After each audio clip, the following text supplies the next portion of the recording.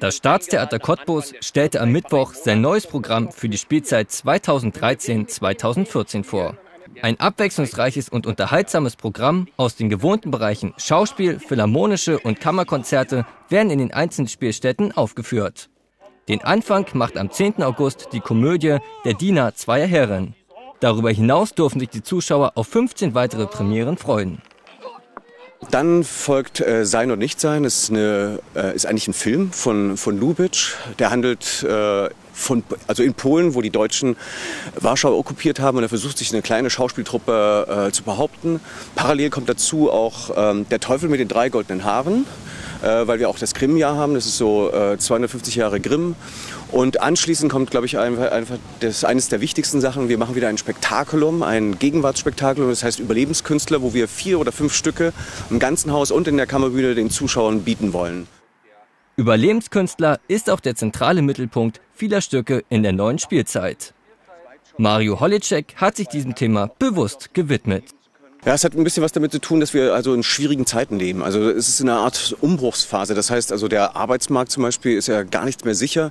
Das heißt also, viele Menschen müssen einen Zweitjob annehmen oder ähm, es gibt keine festen Jobs mehr. Man hat dann teilweise nur Stundenarbeit. Genauso hat es eine Auswirkung auf uns, also das, das gesamte finanzielle System, also durch diese Euro-Krise, die wir haben.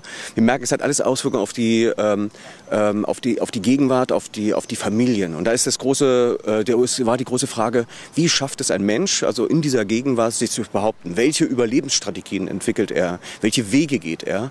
Und dadurch entstand überhaupt dieses Thema. Und das wollen wir äh, an verschiedenen Stücken, auch durch verschiedene Zeiten, ähm, äh, den Zuschauer einfach näher bringen. Neben dem Ausblick auf die kommende Spielzeit zog Dr. Martin Röder aber auch ein Zwischenfazit für das aktuelle Programm. Und dieses fiel sehr positiv aus. Die Saison war eine Erfolgsgeschichte. Äh, wir haben hervorragende Zahlen geschrieben und äh, ich bin sehr zuversichtlich, dass wir am Ende der Spielzeit auch eine gute Bilanz vorlegen können. Insgesamt 302 Veranstaltungen wurden innerhalb der letzten Saison vor fast 80.000 Zuschauern aufgeführt. Vor allem Hoffmanns Erzählungen, Madame Pompadour und Götterdämmerung waren die Publikumslieblinge. Spektakulär geht es aber auch in der neuen Spielzeit weiter. So ist mit der Oper Fidelio im Juni 2014 etwas Einzigartiges geplant.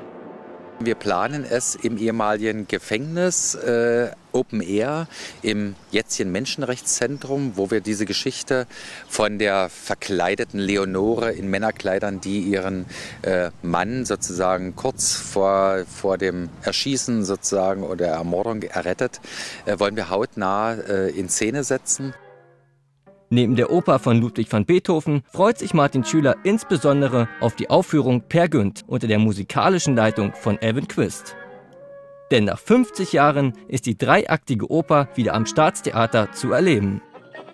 Wer jetzt Lust bekommen hat, am 25. August stellt das Staatstheater Auszüge aus dem Programm 2013-2014 im Branitzer Park vor.